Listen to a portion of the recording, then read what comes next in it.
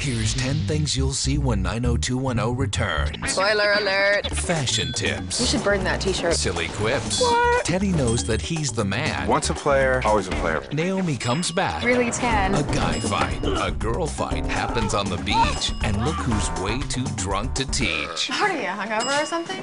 Boys and girls are gonna kiss, but what the frick? do you make of this? Awesome. 90210. New episodes coming soon to the CW.